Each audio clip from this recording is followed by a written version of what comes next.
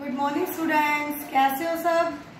आज है Tuesday Tuesday को हमने क्या करना है? इंग्लिश रीडर इंग्लिश रीडर में वॉवल्स मतलब फ़र्स्ट लेसन फ़र्स्ट कल आपको टू लाइन्स करवाई थी. आज आपको थ्री लाइन करवाएँगे. तो स्टार्टिंग से स्टार्ट करते हैं. B A T bat C A T cat C A P cap D O G dog B O Y boy, V A N van, R A T rat, H U T hut, third line, H I double L hill, S H I P ship, B U S bus, B E D bed.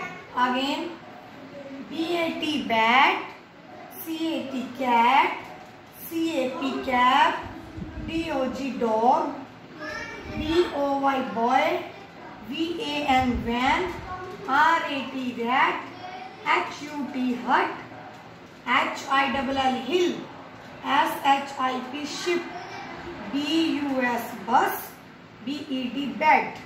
आज के लिए इतना ही ये आपने घर पे तीन बार revise करने हैं लर्न करने हैं और राइट भी करने हैं ओके थैंक यू